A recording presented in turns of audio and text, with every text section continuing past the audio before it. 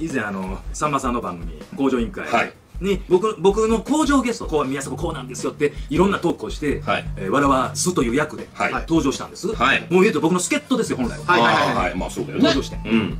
ね。うん。いきなりあの三股ダンス言って三股三股あるんですよ。もうそれがもううんこちびるほど滑った。のあれ裸足でやるもんやからそれ服着替えて履き直さなあかんやんか。でさんまさんの前でクソほど滑ってさ、うん。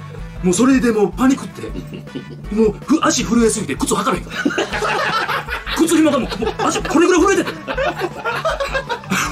全然靴紐結ばれへんからずっと横でこれなあの靴のアップあの当時何回も使われてたわあの部位。触れてるところが。震えてるところが。でビビりすぎて俺は泣き出すっていう。めちゃくちゃやむちゃくちゃだな。えうん。結局全部俺フォローしていやまあまあまあそんな中ですわ。ーはい